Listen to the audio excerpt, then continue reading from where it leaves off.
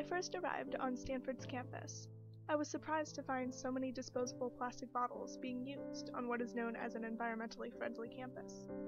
What was our campus's environmental impact because of these bottles? Is this a significant enough issue on campus to bother addressing? And exactly how many disposable water bottles do we, as Stanford undergrads, use? We decided to find out. In a voluntary online survey, we asked Stanford undergrads this question how many disposable plastic water bottles do you use in a typical week? As the 195 survey responses rolled in over the next two weeks, the answer became clear too many. Stanford undergraduates consume 952 plastic water bottles each day.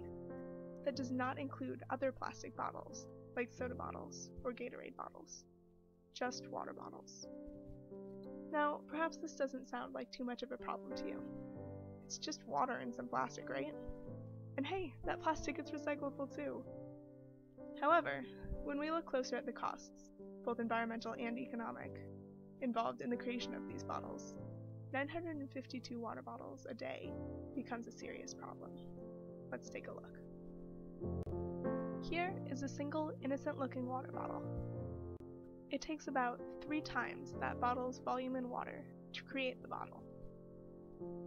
Additionally, it takes approximately one fourth of that bottle's volume in oil to produce the bottle.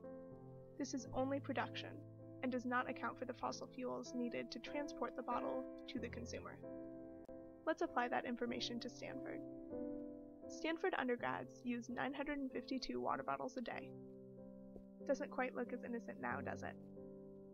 That means we use 2,856 bottles worth of water daily just to quench our demand for water bottles, and 238 bottles worth of oil. And that is just one day. What does that mean for our planet? It means that we are adding 87.6 metric tons of carbon dioxide to our atmosphere each year just through our water bottle consumption. This is equivalent to the emissions from 18.2 passenger vehicles in a year, or the emissions produced in providing a dozen typical US homes electricity for a year. To sequester this amount of carbon, we would have to grow 2,245 tree seedlings for 10 years. All of these emissions are causing major damage to our planet's climate system. As our greenhouse gas emissions increase, the rate at which the planet is warming increases as well. The 0.9 degrees Celsius warming since 1900 has already caused sea level rise, endangerment of species, and increased severity of tropical storms. Although no single storm can be attributed to climate change, such disasters as Superstorm Sandy and Typhoon Haiyan will become more likely as the global mean temperature increases. Such dangers are associated with carbon dioxide emissions, and as a campus, we choose to emit greenhouse gases due to our plastic water bottle usage. If there were a significant human benefit to using these water bottles, perhaps this contribution to climate change would be more reasonable. However, the cost to humans is huge too.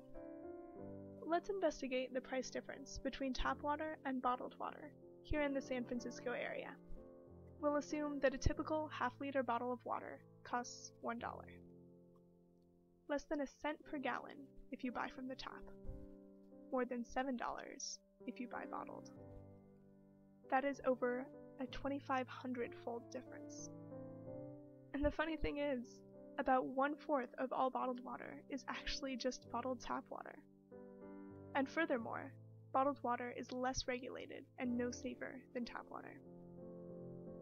But doesn't bottled water come from picturesque island locations while tap water doesn't? Not necessarily. Let's take a look at the source of San Francisco's tap water supply, shall we?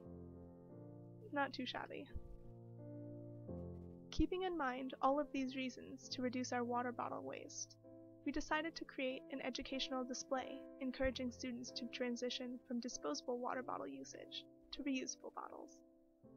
In the course of one short week, we collected 952 bottles, hot gluing them together to form a pyramid even taller than Professor Diffenbaugh. This pyramid, a visualization of the water bottle waste we create daily, was put on display in White Plaza during Big Game Week and was accompanied by facts about water bottle usage and environmental impacts of that usage. It also had a pledge. The pledge stated, I pledge to use only reusable water bottles rather than disposable bottles.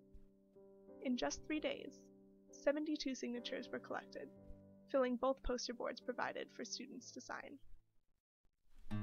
Additionally, we created a Facebook page for students who wished to pledge to use reusable water bottles too, but did not have a chance to sign the poster board pledge. This page has 90 likes and counting. That means that a total of 162 people have pledged to stop using disposable plastic water bottles. Assuming that each of these pledgers are average Stanford undergrads, this will prevent 8,024 disposable water bottles from being consumed each year and about 2 metric tons of carbon dioxide emissions avoided annually. Stanford still has a long way to go, but with more students choosing to reuse, Cardinal is looking greener and greener.